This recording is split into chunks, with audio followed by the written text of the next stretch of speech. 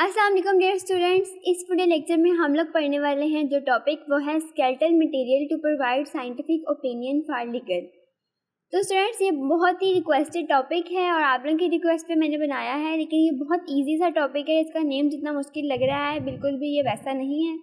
इस video lecture में हम लोग देखेंगे पहले कि स्केल्टल मटेरियल्स होते क्या हैं, उसके बाद देखेंगे कि हम लोग फोरेंसिक साइंसेस के अंदर या फिर लीगल केसेस के अंदर इनको अपने साइंटिफिक ओपिनियंस प्रोवाइड करने के लिए या अपने क्राइम्स की इन्वेस्टिगेशन के लिए किस तरह से हम स्केल्टल मटेरियल को यूज़ करते हैं। तो फ्रेंड्स इससे पहले जो भी मैंने फोरेंसिक्स की वीडियोस बनाई हैं, अगर आपने वो नहीं देखी तो मेरी आपसे रिक्वेस्ट है कि आप पहले जाके उनको लाजमी देखें, क्योंकि अगर आप उन वीडियोस को देखेंगे तो ये वाली वीडियो समझना आपके लिए और भी ईजी हो जाएगा और उन तमाम वीडियोज़ का लिंक मैं आपको डिस्क्रिप्शन में दे दूँगी।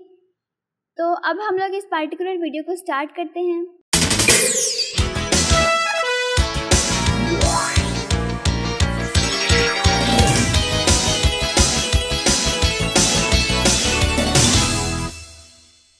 सबसे पहले हम लोग देखते हैं कि स्केल्टल मटेरियल्स होते क्या चीज़ हैं। Skeletal material is the bones and teeth of the body skeletal materials हमारी बॉडी की जो बोन्स हैं, जो स्केलेटन है, वो होता है और जो हमारे टीथ्स हैं उनके ऊपर कंसिस्ट करता है skeletal material it is hard tissue that provide support and structure to the body and it also store minerals and blood cells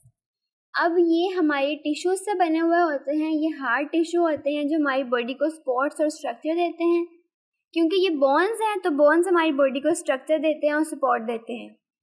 उसके अलावा इनके अंदर ब्लड सेल्स पाए जाते हैं और ये मिनरल्स को स्टोर किया होता है इन्होंने अपने अंदर.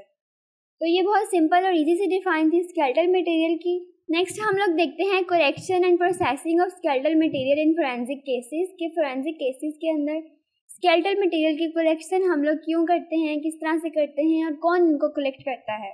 और फिर इनको कलेक्ट करने के बाद किस तरह से हम लोग अपने क्राइम्स की इन्वेस्टिगेशन के लिए यूज़ करते हैं? Skeletal material is typically collected by forensic anthropologist and other experts अब फोरेंसिक्स के जो एक्सपर्ट्स हैं फोरेंसिक एंथ्रोपोलॉजिस्ट एंथ्रोपोलॉजिस्ट हम लोग उन लोगों को कहते हैं जो ह्यूमन बींग्स की स्टडी करते हैं। और फोरेंसिक एंथ्रोपोलॉजिस्ट जो हैं, ये ह्यूमन बींग्स के जो स्केल्टल मटेरियल है, ये उसको कलेक्ट करेंगे, उसको एनालाइज करेंगे और वहाँ से डिफरेंट क्राइम्स की इन्वेस्टिगेशन करेंगे। The material is then processed to remove any soft tissue and other contaminants उसके अलावा जैसे ही ये स्केल्टल मटेरियल को कलेक्ट करेंगे कलेक्ट करने के बाद उसको प्रोसेस करेंगे, उसके ऊपर से अगर कोई सॉफ्ट टिश्यू है, उसको रिमूव करेंगे, कोई कंटेमिनेट्स हैं, उनको रिमूव करेंगे। The bones are then clean photographed and made और बाद में जो भी बोन्स बच जाएँगी खाली, उनको क्लीन करेंगे, उनके पिक्चर्स बनाएँगे, उनको मैयर करेंगे और फिर उनके ज़रिए से डिफरेंट तरह के रिजल्ट्स निकालेंगे। नेक्स्ट आ जाता है skeletal material for legal purposes तो ये आपका जो मेन टॉपिक था कि स्केल्टल मटेरियल को हम लोग लीगल पर्पजेज में किस तरह से यूज़ करते हैं? मतलब कानूनी मकासद हासिल करने के लिए हम लोग स्केल्टल मटेरियल्स या जो हमारी हड्डियाँ हैं, उनको फ्रेंसिक साइंटिस्ट किस तरह से यूज़ करते हैं? स्टूडेंट्स बहुत सी शॉर्ट सी वीडियो और इसमें हम लोग टू द पॉइंट बात करेंगे कि किस तरह से जो हमारे पास स्केल्टल मटेरियल को यूज़ करते हुए फ्रेंसिक साइंटिस्ट हैं वो लीगल पर्पजेज वगैरह में कौन कौन से काम कर सकते हैं इन हड्डियों को यूज़ करते हुए? इसको पढ़ते हैं skeletal material can be use to provide scientific opinion for legal purposes अब ये स्केल्टल मटेरियल को एक बहुत ही वैरायटी ऑफ़ वेज के अंदर लीगल पर्पजेज के लिए साइंटिफिक ओपिनियन दिए जाते हैं, इनको यूज़ करते हुए। इस बात का मतलब ये है कि जो कानूनी मकासद हैं, कोई भी कानूनी रिपोर्ट हम लोगों ने बनानी है, किसी भी हादसे वगैरह की और वहाँ पे जो साइंटिफिक ओपिनियंस होते हैं, वो साइंटिफिक ऑब्जर्वेशंस के बाद किए जाते हैं और साइंटिफिक ऑब्जर्वेशंस जो हैं, ये हमारे साइंटिफ जो हमारे फोरेंसिक साइंटिस्ट हैं, वो करेंगे हमारे स्केल्टल मटेरियल को देख कर। The purpose is include identification of human remains estimation of age at death estimation of cause of death estimation of postmortem interval and reconstruction of events अब इन मटेरियल को यूज़ करते हुए कौन कौन से हम लोग काम कर सकते हैं?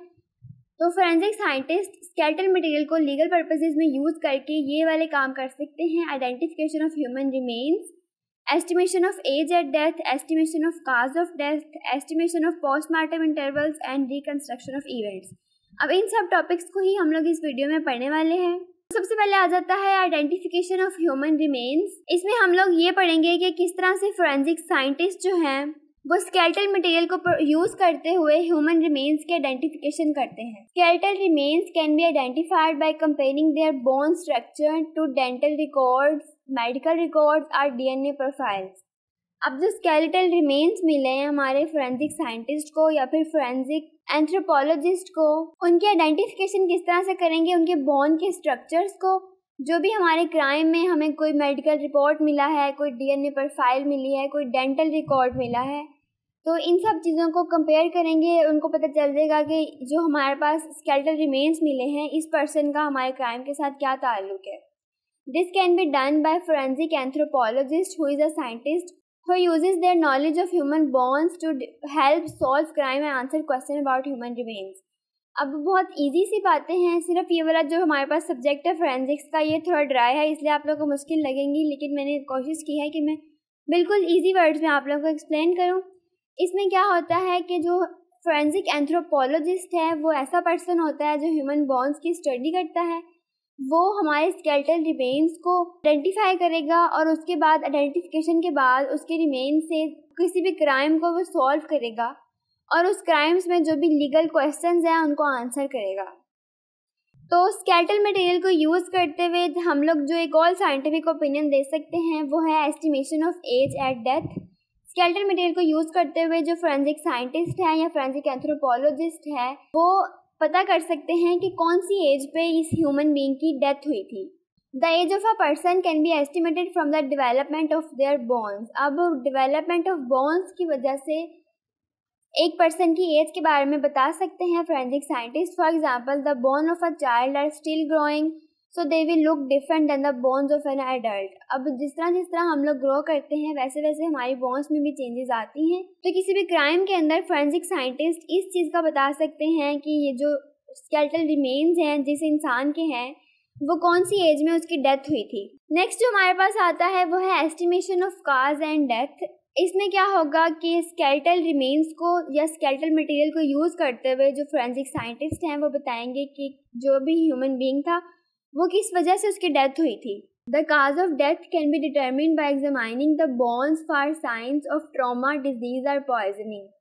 अब बोन्स के आइडेंटिफिकेशन के ज़रिए से ये चीज़ पता चल जाती है कि जो डेथ हुई है, क्या वो किसी ट्रामा की वजह से हुई है, किसी डिज़ीज़ की वजह से या किसी तरह की पॉइजनिंग की वजह से? For example a gun shoot wound to be skull would be a clear sign of a violent death अगर स्कल के अंदर एक गन का शूट हुआ हुआ का साइन होगा तो पता चल जाएगा कि ये एक वायोलेंट डेथ थी। तो स्टूडेंट्स आप देख रहे हैं कि किस तरह से हम लोग स्केल्टल मटेरियल को यूज़ करके अपने साइंटिफिक ओपिनियन प्रोवाइड करते हैं अपने लीगल केसेस के अंदर। नेक्स्ट हमारे पास आता है estimation of postmortem interval students postmortem interval इसको हम लोग पी एम आई कहते हैं। ये एक ऐसा प्रोसेस है जिसके ज़रिए से बताया जा सकता है कि जिस पर्सन की डेथ हुई है वो कितना टाइम पहले हुई है। तो इसके अंदर स्केल्टल मटेरियल को यूज़ करते हुए फोरेंसिक साइंटिस्ट जो है, वो इसी चीज़ को बताएँगे, उसका पोस्टमार्टम करके कि किस टाइम पे इस पर्सन की डेथ हुई है। The time since death can be estimated from the condition of the bones bones की कंडीशन को देख के डेथ के जो टाइम है, उसको पता कर सकते हैं कि कितना टाइम पहले जो है इस पर्सन की डेथ हुई है। For example, bones that are found in a shallow grave will deteriorate more quickly than bones that are found in a deep grave. अब कोई skeletal material है जिसको forensic scientist ने किसी कबर के अंदर से निकाला है तो उसकी जो हालत है उसको देखते हुए पता चल जाएगा कि वो शैलो ग्रेव में था या फिर डीप ग्रेव में था मतलब उसको दफनाए हुए कम अरसा हो गया है जो ज़्यादा टाइम हो गया है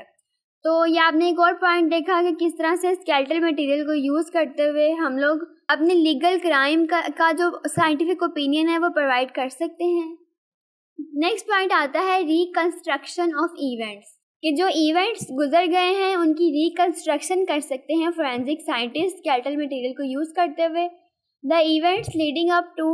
and after death can be reconstructed by examining the bones for sign of trauma, like stab wounds or gunshot wounds. अब bones की एग्जामिनेशन करते हुए रिकंस्ट्रक्ट कर सकते हैं हम इवेंट को कि किस तरह से इस पर्सन की डेथ हुई थी